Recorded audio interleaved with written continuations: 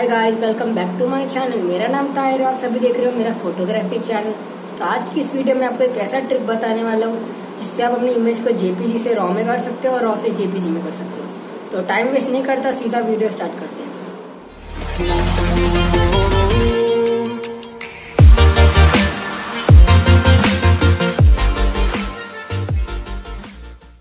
तो गाइज़ ये ट्रिक करने के लिए अपने को एप्लीकेशन लगने वाला है, वो है एडोब लाइट तो फटाफट से एडोब लाइट रूम ओपन करते एडोब लाइट रूम ओपन करने के बाद ऑल फ़ोटोज़ में जाएँगे।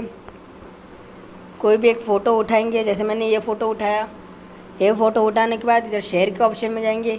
शेयर के फ़ोटो ऑप्शन के बाद लोग एक्सपोर्ट पे जाएँगे। एक्सपोर्ट में इधर मैंने डी सिलेक्ट किया। सिलेक्ट करने के बाद टिक मार्क पे जाएँगे। टिक मार्क होने के बाद वह फ़ोटो एक्सपोर्ट हो जाएगा। अगर आपको डीएनजी से जे में करना है तो पहले आपको रॉ फ़ोटो इंपोर्ट करना है, फिर वो शेयर पे जाके जे सिलेक्ट करना है। वो अपने आप कन्वर्ट करके जे जे में देगा। अगर आपको ये वीडियो पसंद आया तो लाइक शेयर और कमेंट करना।